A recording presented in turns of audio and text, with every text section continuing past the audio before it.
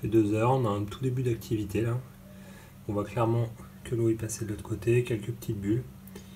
Euh, bon voilà, c'est parti. hein. Voilà, ça fait juste 4 heures que j'ai ensemencé. Vous voyez déjà l'activité. Euh, donc c'est assez bluffant, hein, ça bulle. Regardez l'activité en dessous. Un beau Krausen qui s'est déjà mis en place. Euh, ça devrait être pas mal. Donc les premiers jours, on vient surveiller assez souvent là. Vous allez voir, demain l'activité sera encore plus forte euh, ou pendant la nuit. là. Et donc ça risque de se vider. Voilà. Les deux pièges que c'est ça, c'est d'avoir ça vide, parce que du coup on perd un peu le sens. Et le deuxième, c'est d'avoir trop de Krausen, que ça monte et que ça vienne boucher euh, au-dessus. C'est les deux petits points qu'il faut surveiller dans les premières heures.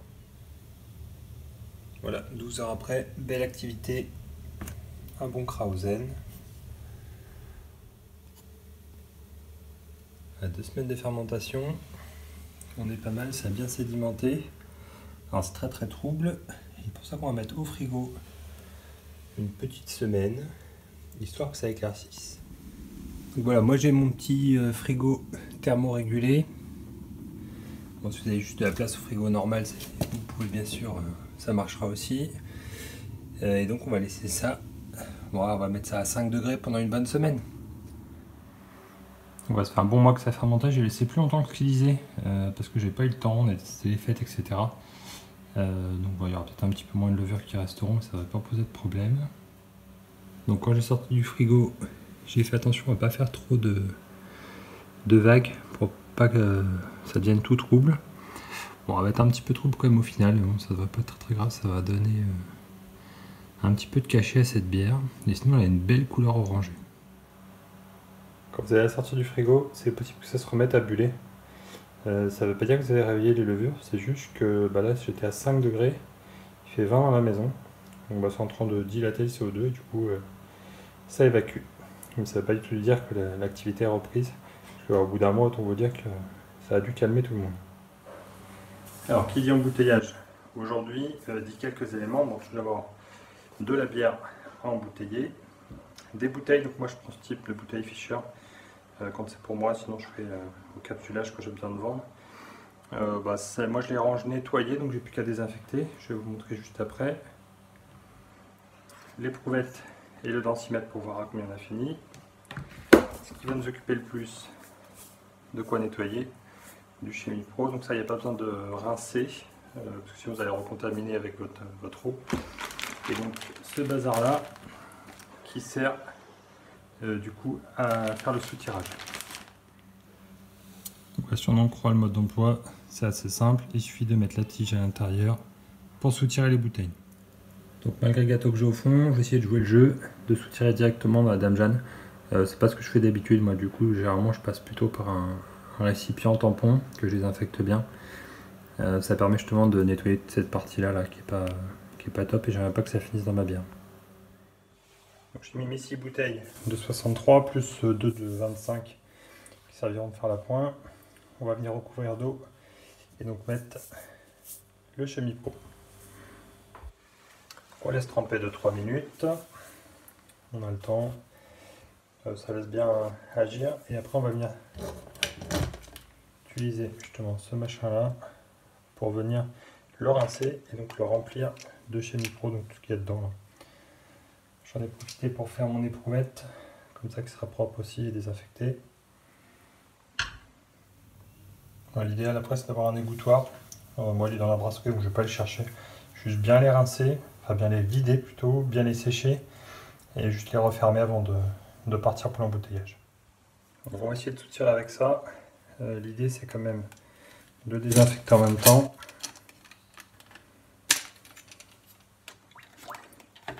J'aspire. Je vais me servir dans l'éprouvette. On va remettre un petit peu.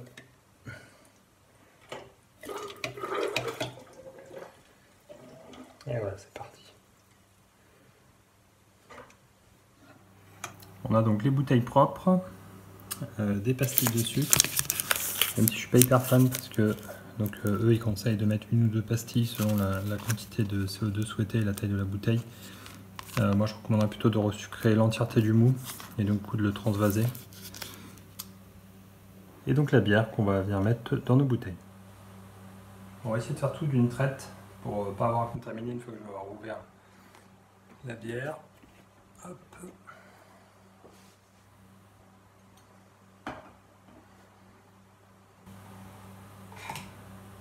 On met ça dans la bouteille.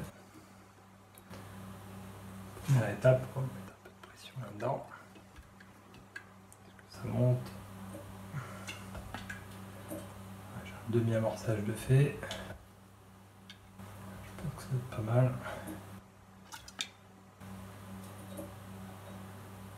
Faut pas s'amorcer.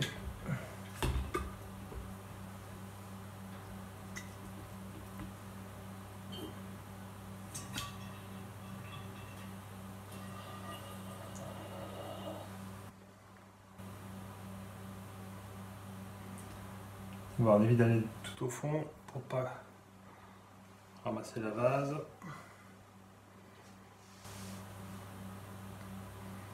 Moi je vais me sortir ma première bouteille et après je vais sortir les prouvettes. il y a un petit taquet au bout qui fait si ça s'arrête ou pas. Voilà, alors je ne sais pas si vous voyez ce que je suis peut-être un petit peu loin. Mais en gros, faut pas hésiter à remplir jusqu'en haut, puisque de toute façon quand vous allez venir enlever votre tige, ça va vous donner le bon volume. Donc ce que je vais faire, je vais prendre une deuxième plutôt pour poser ma tige. On fout Donc là on est d'accord qu'on a les mains hyper propres. Euh, c'est pas le moment de, de jouer. On va se mettre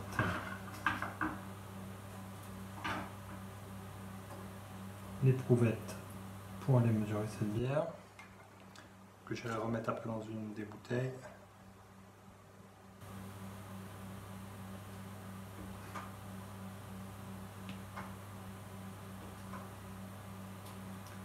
Ça sent bon, ça sent la bière, pas d'odeur suspecte type soufre, etc. Carton, tous ces trucs là, donc c'est plutôt bon signe, c'est-à-dire qu'on a fait de la bière.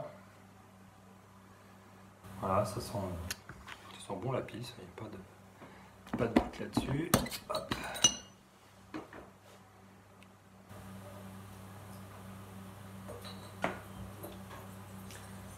Donc avant de vous mettre à soutirer, réfléchissez bien comment vous allez faire, parce qu'il va pas falloir... Euh, il ne faut pas que vous puissiez toucher les choses, etc. Euh, pour contaminer.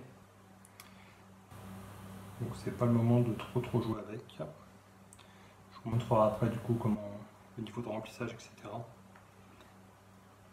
N'hésitez pas à monter jusqu'en haut, il ne faut pas qu'il y ait trop d'air, sinon vous risquez d'oxyder votre bière. Et on évite que ça fasse de la mousse aussi.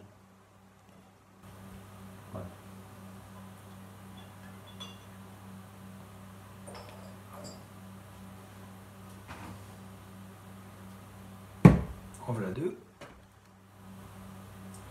Donc à ce stade, vous avez une bière non resucrée. Donc si je la refermais comme ça, il ne se passerait rien. Très peu de bulles, le peu de CO2 qu'il y a dans, dans la bière, donc ça ferait pas un truc extra. Donc on va venir resucrer juste après. Donc vers la fin, on va commencer à faire gaffe pour pas aller chercher de la vase. Si on veut que ça ressemble à de la bière.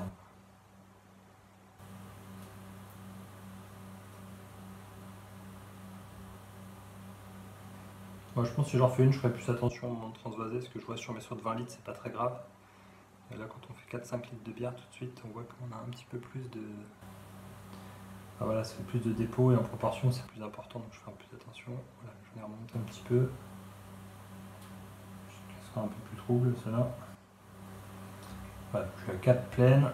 Je suis pas sûr de faire la cinquième complète. Euh, quoique j'ai 250 dans celle-ci. Voilà, c'est le moment où il faut choisir que je fais deux petites ou est-ce que je fais... Euh, Ouais, on va peut-être faire deux petites, ça fera une bouteille test bien trouble.